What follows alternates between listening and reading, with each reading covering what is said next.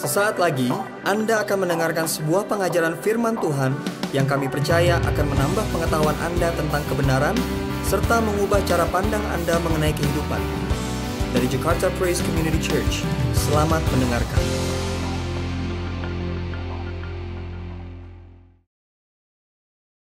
Dua Timotius pasal yang kedua, saya akan bacakan ayat keempat sampai ayat yang keenam buat kita semua. Timotius pasal kedua ayat 4 sampai ayat ke-6 berbunyi seperti ini. Seorang prajurit yang sedang berjuang tidak memusingkan dirinya dengan soal-soal penghidupannya. Supaya dengan demikian ia berkenan kepada komandannya. Seorang olahragawan hanya dapat memperoleh mahkota sebagai juara apabila ia bertanding menurut peraturan-peraturan olahraga. Seorang petani yang bekerja keras haruslah yang pertama menikmati hasil usahanya. Nah, Paulus mengambil tiga gambaran figur yang berbeda-beda untuk menjelaskan sesuatu. Tentunya selain dia bicara tentang fokus, eh, dia bicara tentang konsistensi, di dalam tiga figur ini ada kesamaan yang saya temukan yang merupakan kesamaan daripada ketiga figur ini. Kesamaan yaitu yang saya temukan di sini adalah bahwa ketiga-tiganya baik itu eh, prajurit maupun olahragawan maupun eh, petani, ketiga-tiganya memiliki kegigihan dan komitmen yang sama untuk menyelesaikan apa yang mereka mulai. Saudara, di dalam eh, tulisan-tulisan Paulus berulang kali dia menuliskan uh, atau mengambil uh, ilustrasi olahragawan untuk menggambarkan kehidupan. Dia bicara bahwa kehidupan seperti seorang yang ada di dalam pertandingan lari. Dan dikatakan bahwa dengan mata yang tertuju kepada mahkota dan dan piala dan hadiah yang ada di depan, dia terus mendesak sampai menyelesaikan pertandingannya. Saudara, sebagai seorang olahragawan dan sebagai seorang uh, pelari, saudara tidak dapatkan award atau saudara tidak dapatkan hadiah karena masuk dalam pertandingan. Saudara hanya akan dapatkan hadiah kalau saudara menyelesaikan pertandingan. Saudara bahkan tidak diperhitungkan kalau selama pertandingan itu saudara memimpin cukup lama dan cukup jauh daripada saingan saudara. Tidak terlalu menentukan kecuali saudara menyelesaikan pertandingan tersebut. Saya berulang kali lihat teman-teman yang suka lari, ikut maraton 21 km, half maraton maupun maraton 42 km. Berulang kali setelah mereka selesai, yang mereka banggakan bukan juaranya, yang mereka banggakan adalah medali penyelesaiannya. Mereka bangga berhasil menyelesaikan 21 km. Enggak peduli saudara perlu berapa jam untuk menyelesaikannya, tapi intinya adalah menyelesaikannya. Nah saya belum pernah bertanding 21 km, apalagi 42 km. Saya tidak tahu rasanya seperti apa menyelesaikan 21 km. Tapi saya suka lari. Saya sering menyelesaikan 10 km. Seminggu saya bisa selesaikan 2-3 kali 10 km. Target saya, saya lari 30 km seminggu. Saya sekarang sudah lebih mampu menyelesaikan 10 km sekaligus.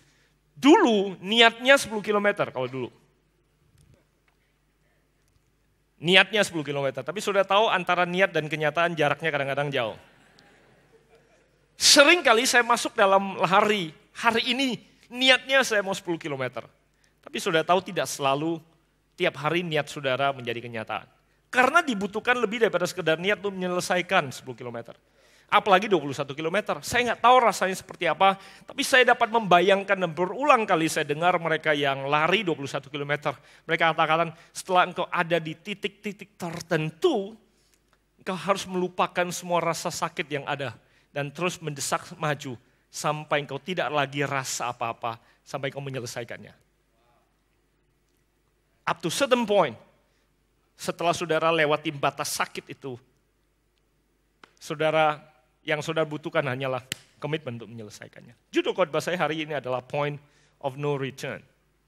Point of no return. Ada titik-titik dalam kehidupan kita di mana yang kita sebut sebagai point of no return. Saudara tidak bisa berbalik arah, saudara tidak punya kesempatan dan tidak punya opsi untuk berubah pikiran, apalagi menyerah. You have no option, saudara kecuali sudah menyelesaikan apa yang sudah awali. Nah bagi saya, seorang prajurit, seorang olahragawan maupun seorang petani,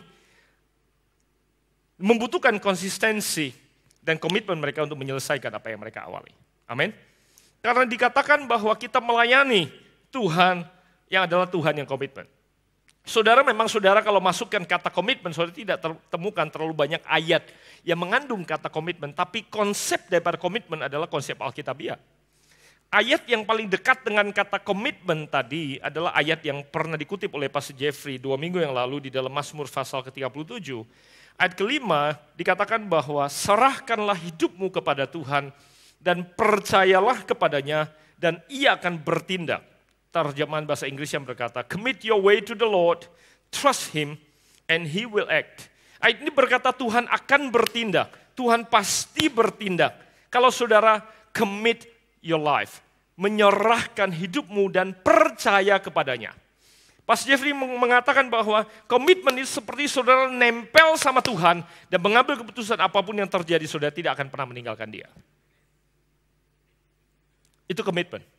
Amsal pasal ketiga ayat 5 dan 6 berkata, Percayalah kepada Tuhan dengan segenap hatimu, janganlah engkau bersandar kepada pengertianmu sendiri, tapi akuilah dia di dalam segala lakumu, maka dia akan meluruskan jalanmu. Trust in the Lord with all your heart. Do not lean on your own understanding. Acknowledge him in all your way, and he will direct your path.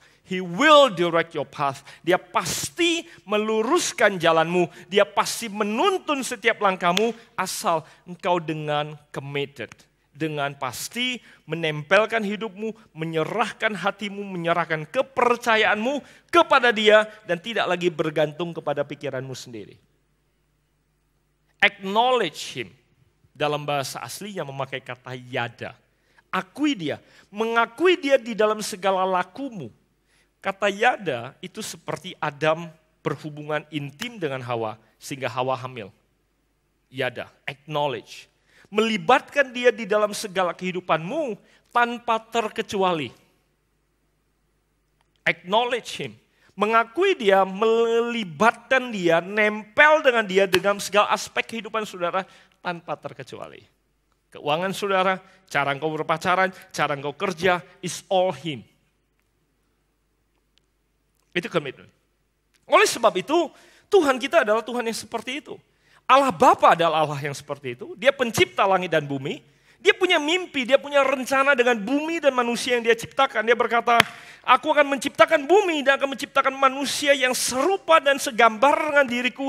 Sehingga aku bisa berkomunikasi dan bersama dengan mereka. Dia punya rencana dan mimpi yang indah. Tapi tahukah saudara bahwa rencananya tidak menjadi kenyataan karena manusia yang diciptakan serupa dan segambar dengan dia memilih untuk punya mimpi dan rencana sendiri. Dia tidak berkata, oh well, too bad. Rencanaku tidak mereka inginkan, mereka tidak dengerin dan mereka tidak sesuai dan tidak memimpikan apa yang aku mimpikan. Ya sudahlah, aku mulai ciptakan dunia yang baru dan ciptakan manusia yang baru. Dia tidak kata lakukan itu, walaupun apa yang dia rencanakan tidak menjadi kenyataan, dia commit kepada apa yang dia mulai dan dia akan menyelesaikannya. Dia kemudian merencanakan proses dan seluruh rencana penebusan, menyelamatkan manusia yang jatuh daripadanya. Oleh sebab itu di dalam perjanjian lama penuh dengan gambaran daripada bagaimana sang Bapa di surga pencipta berusaha keras merebut kembali hati umatnya yang jauh daripadanya. Saudara, di dalam perjanjian lama ada seorang nabi yang bernama Hosea. Kalau saudara baca, Hosea disuruh oleh Tuhan untuk pergi menikahi seorang wanita sundal, pelacur. Nah, cerita daripada Nabi Hosea ini merupakan gambaran daripada Bapak di surga terhadap bangsa Israel atau terhadap kita umat manusia. Dikatakan bahwa Hosea disuruh pergi menikahi wanita sundal ini. Hosea lakukan. Hosea menikahi wanita ini. Kemudian punya anak dengan wanita ini. Dan kalau saudara baca di tengah-tengah perjalanan wanita ini melahirkan anak bersama dengan Hosea, kemudian melahirkan dua anak yang lain. Yang kemudian ketahuan anak ini bukan dari dia. Kemudian udah anaknya dari dua laki-laki lain yang berbeda, wanita ini kabur kemudian hidup sembarangan lagi dan terdampar di tempat pelacuran yang paling rendah dan kemudian Tuhan memerintahkan laki-laki ini kembali pergi melelang dan mengambilnya kembali. Saya pikir diperlukan lebih daripada perasaan cinta untuk bisa melakukan apa yang laki-laki ini lakukan.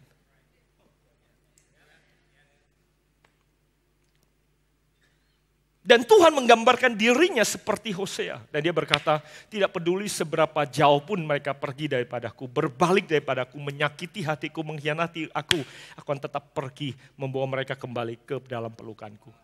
Saya tidak temukan ada Tuhan yang seromantis dan sekonsisten itu selain Tuhan kita. Dan bukan hanya Bapak di surga yang seperti itu. Yesus yang dikirim untuk menyelamatkan kita. Saudara pikir itu seperti dalam istilah bahasa Inggris, a walk in the park, seperti jalan-jalan datang ke dalam dunia ini menyelamatkan manusia. Kalau semudah itu, Yesus tidak akan berkata, biarlah cawan ini berlalu daripada aku, kalau segampang itu. Bukan perkara yang mudah untuk Yesus melakukan apa yang dia lakukan. Tapi saya bersyukur dia tidak menyerah, dia tidak berkata, Pap, you know what? Mereka ini memang nggak pantas diselamatkan. It's too tough. Udahlah, biar cawan ini berlalu. Dia bertahan sampai dia berkata, it is finished. Dia selesaikan apa yang dia awal.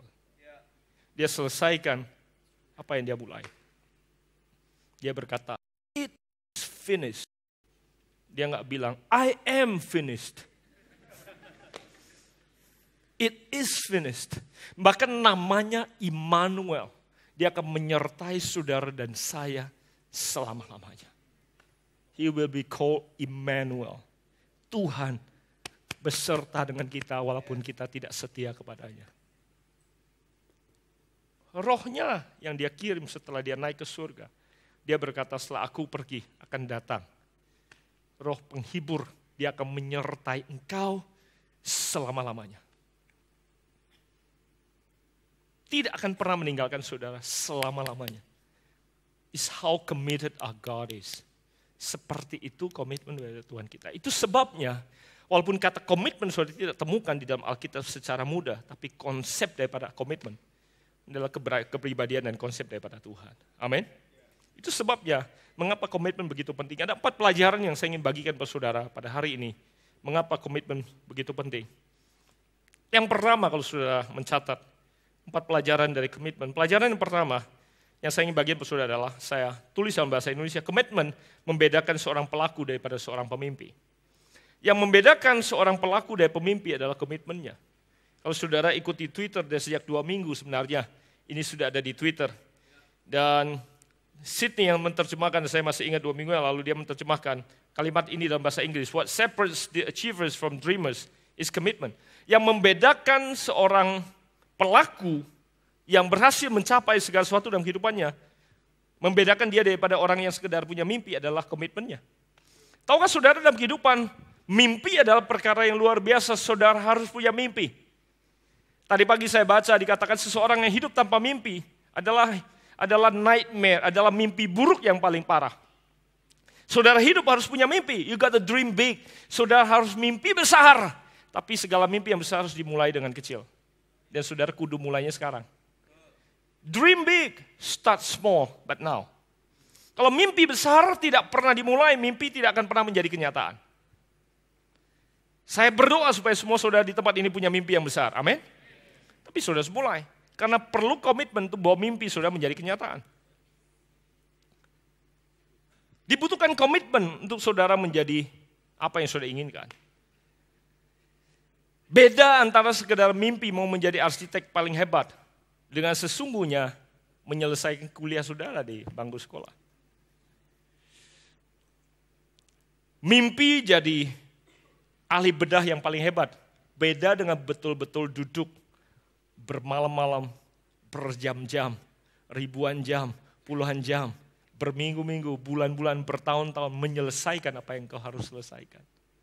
Saya masih ingat waktu saya zaman kuliah, Sering kali waktu teman-teman saya pesta, saya harus kerja. Waktu mereka lagi liburan jalan-jalan, saya harus kerja. Waktu mereka santai, saya harus mengerjakan skripsi.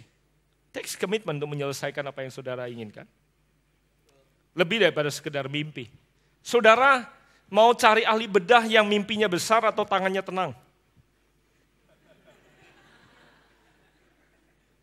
Diperlukan lebih daripada sekedar mimpi untuk berhasil dalam kehidupan. Perlu mimpi yang baik dalam pernikahan, tapi dibutuhkan lebih daripada sekedar mimpi untuk pernikahan bisa berfungsi dengan baik. Cuma sering kali kalau saya bicara sama yang muda, yang sedang jatuh cinta, tentunya di kebaktian dua tidak ada, sudah semua sudah menikah. Dan yang sedang jatuh cinta, sering kali waktu mereka jatuh cinta karena ada zat-zat kimiawi yang menguasai pikiran dan hati mereka, sehingga mereka berkata yang penting kita punya mimpi dan punya visi yang besar. Oh, kita perlu punya mimpi dan visi yang besar. Berkata kalau kita punya cita-cita yang besar, laut kita bisa serang, seberangi, gunung kita bisa daki. Karena jajat kimiawi itu antusiasme itu. Bahkan titik-titik kucing terasa coklat. Tapi saudara yang sudah menikah lebih daripada 2-3 tahun sudah tahu bahwa Jad-jad kimiawi itu bisa pudar dan berubah bentuk setelah saudara masuk dalam pernikahan. Setelah saudara masuk 2-3 tahun dalam pernikahan, mungkin tahun pertama masih musim, kan ada madunya kan? Masih ada bulan madunya. Dan saudara mungkin masih belum merasakan tapi begitu saudara mulai masuk pada realita, jad-jad kimiawinya mulai pudar. Saya mau beritahu saudara, titik-titik kucing sesungguhnya terasa titik-titik kucing. Karena coklatnya hilang, sisa. You got it. Karena coklatnya hilang, saudara. Nah, dibutuhkan lebih daripada sekedar mimpi.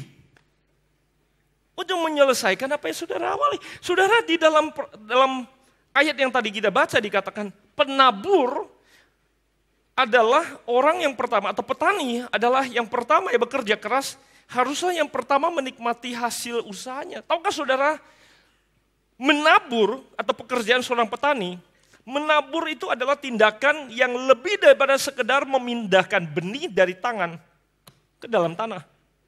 Kalau menabur sesederhana itu semua orang bisa.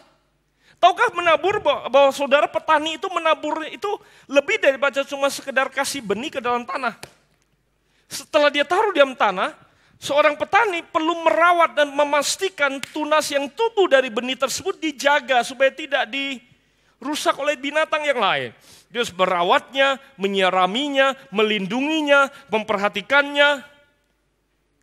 Bahkan pada saat pohon ini mulai berbuah atau berbunga dan kemudian berubah menjadi buah sekalipun, buahnya masih harus dipelihara, dilindungi, supaya tidak rusak sebelum pada waktunya sehingga dia menjadi orang pertama yang bisa memetik dan menikmatinya. Nah, kata menabur itu bukan cuma satu kali lempar. Menabur adalah komitmen jangka panjang. Demikian juga pernikahan. Untuk pernikahan berhasil lebih daripada sekedar foto priwet dan pesta salaman yang berhasil. Kalau pernikahan hanya salaman berhasil dan angpaunya cuan, terlalu gampang. Terlalu gampang saudara hanya perlu IO atau WO yang baik, maka pernikahan saudara berhasil. Kata pernikahan perlu lebih daripada sekedar mimpi dan WO yang baik. Dengan segala rasa hormat, saya tahu banyak WO di sini. Saudara menolong mereka untuk memulainya dengan baik. It's good. Tapi perlu komitmen yang lebih daripada itu.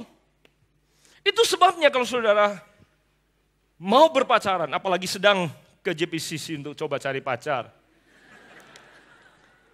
Pastikan orangnya punya mimpi.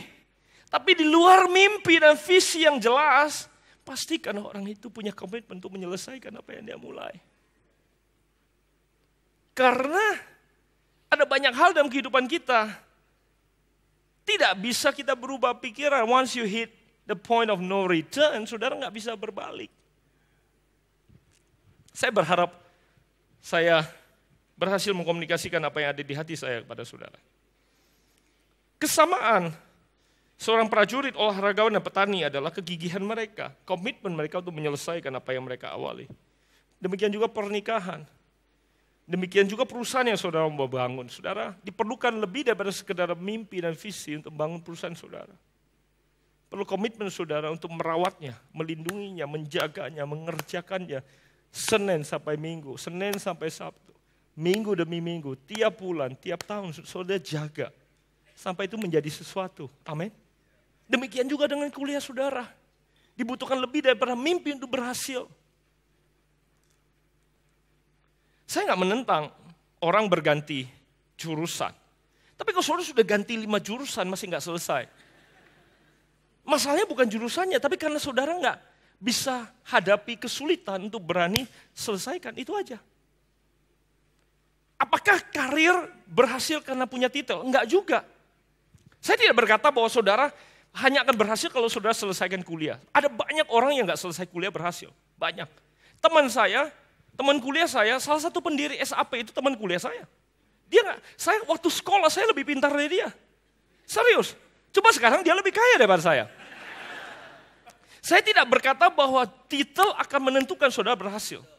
Dia jago programming, tapi dia nggak jago fisika, makanya nggak bisa lulus kuliah.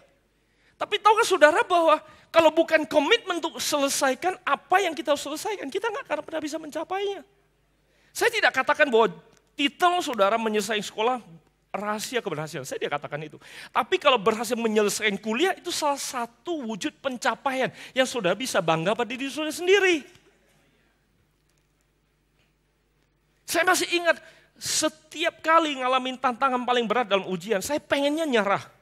Saya pengen yakinkan di saya, masa depan saya tidak tergantung pada titel. Tapi saya bersyukur, saya selesaikan. Saya bersyukur saya selesaikan. Semua yang belum menyelesaikan skripsi katakan, saya mulai bisa lihat tetesan darah keluar dari wajah-wajah saudara. Enggak apa-apa, sudah tahu ini saya udah kuliah separuh, salah, ganti, enggak apa-apa, tapi selesaikan.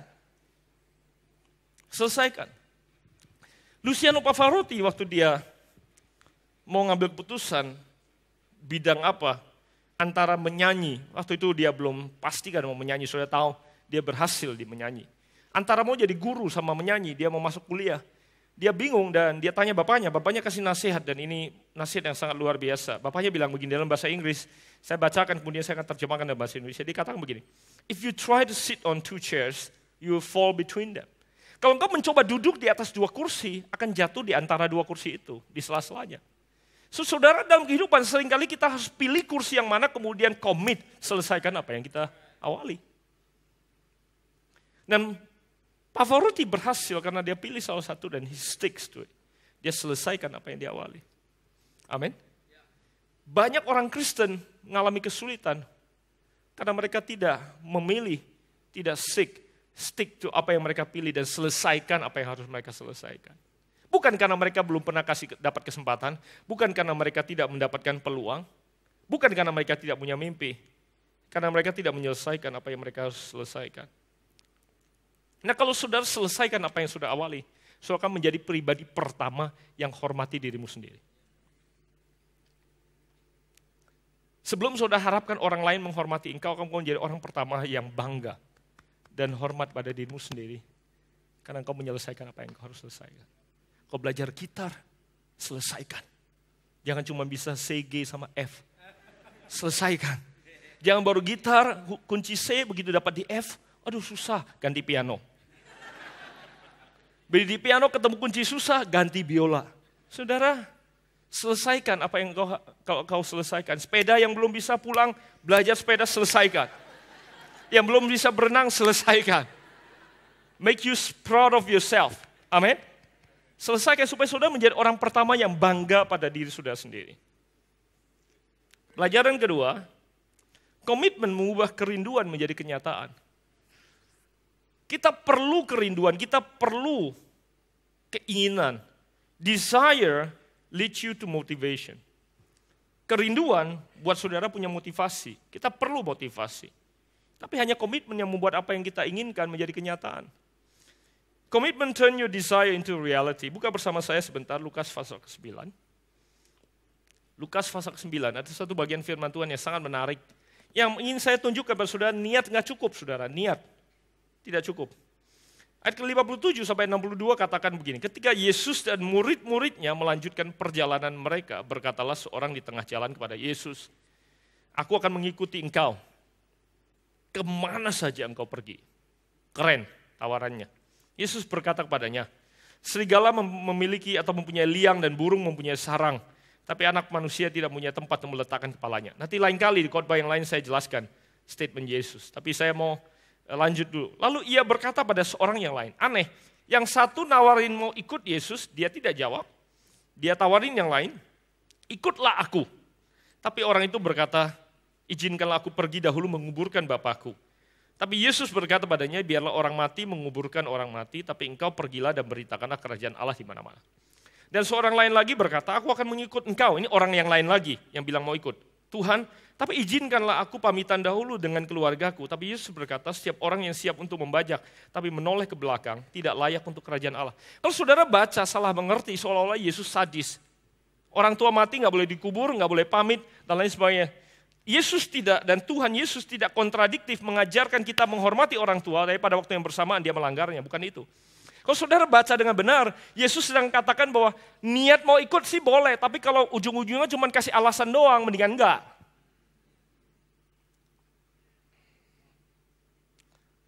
Niat baik, tapi kalau orang hanya punya niat dan tidak punya komitmen, ujung-ujungnya alasan. Sudah pernah ketemu orang banyak alasan? Atau saudara sering buat alasan? Karena kalau saudara punya niat saja, tidak punya komitmen untuk mengikuti niat tersebut, ujung-ujungnya saudara menjadi orang yang jago buat alasan. Again, orang lain mungkin tidak ketahuan, orang lain tidak tahu. Tapi saudara tidak bisa membohongi dirimu sendiri. Jadi di sini isunya bukan betul, saya nggak yakin bapaknya betul mati sih. Karena sering kan membantu saudara yang minta izin pulang kampung karena orang tuanya atau sakit dan lain sebagainya. Isunya di sini adalah excuse. Kalau saudara orang yang tidak punya komitmen, saudara akan menjadi orang yang paling jago bikin excuse. Niat gak cukup. Nah, pelajaran ketiga, kalau saudara bergumul tentang prioritas, sejak 2-3 minggu banyak orang datang pada saya, tanya sama saya, email saya, tulis di Twitter dan Facebook, berkata bahwa saya punya komitmen begitu banyak, yang mana yang harus saya dulukan, dulukan prioritasnya gimana kalau saya punya komitmen? Menurut saya, mereka yang bergumul seperti itu punya salah pengertian antara bikin perjanjian dan punya komitmen. Menurut saya, janji adalah pada isi daripada apa yang kau janjikan, itu janji. Komitmen adalah tekad saudara memenuhi janji tersebut. Jadi buat saya komitmen gak ada skala prioritasnya. Karena kalau saudara sudah bikin janji, komitmen mengatakan saudara harus menyelesaikannya, tidak ada lagi prioritas. Yang ada adalah prioritas saudara dalam membuat janji. Itu yang penting. Jadi kalau ada orang berkata, saya punya banyak komitmen, prioritas yang mana? Menurut saya semua komitmen prioritasnya sama pentingnya, yaitu harus dikerjakan. Yang harus punya skala prioritas adalah dalam membuat janji. Saudara janji sama siapa duluan, itu skala prioritasnya. Tapi begitu saudara janji, saudara tidak lagi punya prioritas. Saudara harus menyelesaikan janji tersebut. Itu komitmen. Jadi kalau saudara sebut sesuatu itu komitmen, tidak lagi ada pilihan. Saya kasih contoh. Kalau saudara perusahaan yang produksi dan diminta oleh customer saudara pesanan, yang satu pesan 5 ton, yang satu pesan 500 ton saudara sudah janji kepada dua perusahaan ini untuk deliver, akan mengirimkan barang pada tanggal tertentu. Pertanyaan saya, mana lebih penting untuk saudara komit selesaikan? Setelah saya jelaskan, saudara akan bilang dua-duanya. Tapi kalau saya belum jelaskan, saudara mungkin bilang, mungkin customer besar yang pesan 500 ton, yang kita harus dahulukan dulu. Enggak, kalau saudara sudah komit, saudara harus penuhi dua-dua. Oleh sebab itu, prioritas atau skala prioritas saudara tetapkan waktu saudara mau bikin janji. Jadi orang-orang yang berkata, aduh saya dahulukan keluarga atau kerjaan, e, prioritas yang mana komitmen? Menurut saya enggak, ini orang bukan masalah komitmen, mereka punya masalah janji terlalu banyak, enggak ada yang bisa dipenuhi. Apakah saya masuk di akal saudara? Oleh sebab itu saudara, hati-hati dalam membuat janji atau buat janji, atur prioritas saudara betul-betul. Atur prioritas saudara dalam membuat janji, karena begitu saudara janji, komitmen saudara harus mempertahankan apa yang kau janjikan. Saya kalau berjanji mau ngajar lima orang, saya janji. Dan saya janji mau melayani 50 ribu orang. Komitmen saya adalah melakukan dua-duanya. Karena ini yang membawa saya masuk pada pelajaran ketiga. Karena sejuta janji dapat menimbulkan pengharapan. Tapi diperlukan satu komitmen untuk menumbuhkan kepercayaan. Janji bikin orang berharap, saudara. Semakin tinggi janjimu, semakin tinggi pengharapannya. Semakin engkau jago berjanji, semakin banyak orang berharap kepadamu. Tapi jangan senang dulu, karena itu baru pengharapan. Karena perlu komitmen untuk memenuhi janji itu yang membuat kepercayaan datang. Halo? Kalau komitmen saudara di sini, janji saudara di situ, pengharapan orang kepada saudara di sini, sementara komitmen saudara di sini, jarak antara komitmen, realita, dan pengharapan, itu besarnya kecewa.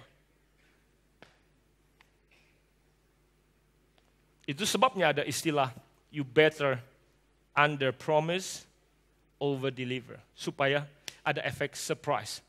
Kalau saudara janji di sini, saudara komitnya di sini, ini jaraknya namanya surprise. Tapi kalau sudah janji di sini, delivernya di sini, ini namanya kecewa. Ada statement yang berkata seperti ini. When a man repeats a promise again and again, he means to fail you. Ladies, listen. Kalau dia jagonya cuma janji, dia cuma jago menumbuhkan pengharapan. Bahkan terlalu sering mengubah janjinya. Apalagi bawa janjinya ke tingkat berikutnya dia cuma berusaha meningkatkan pengharapan saudara saja. Saya khawatir nanti realitanya terlalu jauh, jatuhnya terlalu sakit. Tapi kembali, karena jajat kimiawi tadi, banyak wanita memilih untuk percaya pada janji. Pilihannya cuma dua. Mereka betul-betul optimis, atau bahasa Kristennya beriman, atau bodoh. Saya percaya di kebaktian ketiga sudah orang-orang rohani. Sudah bukan orang-orang yang bodoh bukan? Mudah-mudahan bukan. Karena kalau dia cuma bisanya janji,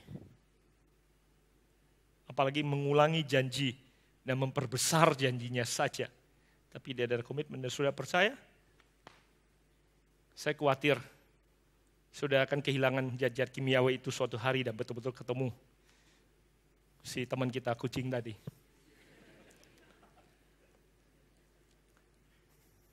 Terlalu diam untuk kebaktian tiga sebenarnya. Saya, tapi mungkin saya bisa lihat sudah kehilangan kehabisan darah terlalu banyak. Pelajaran yang terakhir, saya minta teman-teman naik. Semangat dapat mendorong permulaan sesuatu. Hanya komitmen yang membawa penyelesaian segala sesuatu. Semangat penting semangat bagus. Untuk memulai segala sesuatu semangat cukup. Tapi untuk menyelesaikannya perlu komitmen. Tahukah saudara bahwa semangat yang dimiliki oleh seorang suami dan seorang istri cukup membuat mereka punya anak? Tapi perlu komitmen untuk mereka mampu membesarkan anaknya. Semangat bisa buat orang banyak memulai perusahaan. Tapi perlu komitmen untuk menyelesaikannya. Semangat banyak buat orang memulai kuliah. Tapi perlu komitmen untuk menyelesaikannya. Nah empat kata yang saya bagikan ke saudara.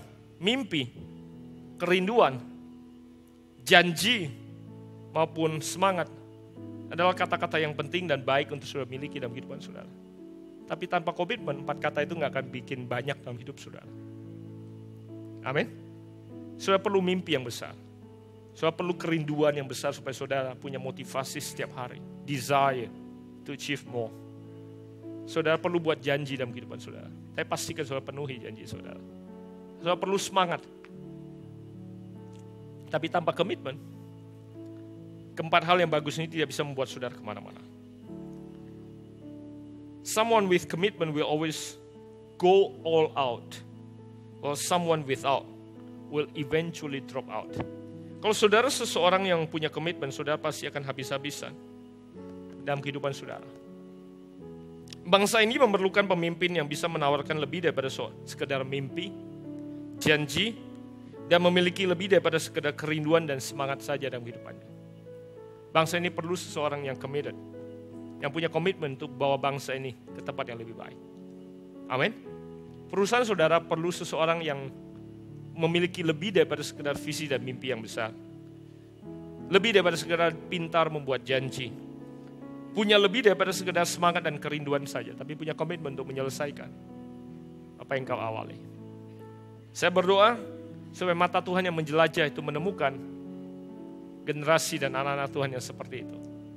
Sehingga pernikahan-pernikahan yang dimulai dan anak-anak yang dibesarkan adalah anak-anak yang luar biasa, takut kepada Tuhan. Perusahaan-perusahaan saudara diberkati, mimpi sudah menjadi kenyataan. Bangsa ini diberkati, dan nama Tuhan dipermuliakan. Amin. Sudah belajar sesuatu? Saya penutup.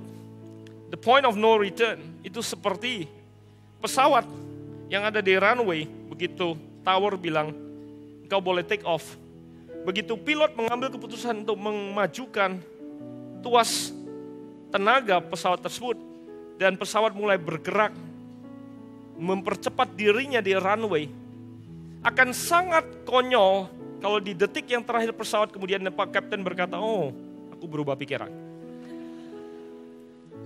Point of no return buat pesawat yang mau terbang adalah pada saat kapten berkata ya apa tidak. Begitu ya, begitu dia mulai maju, dia tidak punya pilihan kecuali dia harus komit sampai dia terbang. Sebab kalau dia berubah pikiran sepanjang perjalanan ini sejak dia melewati point of no return, yang akan celaka bukan hanya dirinya sendiri, tapi semua orang yang ada di sekitar pesawat itu. Dan bahkan di bawah ada ribuan orang yang celaka bersama dengan dia. Masalah dalam kehidupan saya temukan, karena banyak orang Kristen yang tidak dewasa dan tidak sadar dalam menjalankan kehidupannya. Tuhan taruh mimpi, Tuhan kasih mimpi, Tuhan kasih kerinduan, Tuhan kasih kekuatan, Tuhan kasih semangat. Tapi ada banyak hal yang kehidupan kita, begitu kita lewati titik point of no return, kita tidak boleh berubah pikiran lagi. It. Makanya pernikahan bukan untuk anak kecil, untuk orang yang dewasa. Menyelesaikan apa yang mereka selesaikan. May God bless you, Tuhan memberkati saudara. Mari kita bangkit bersama-sama.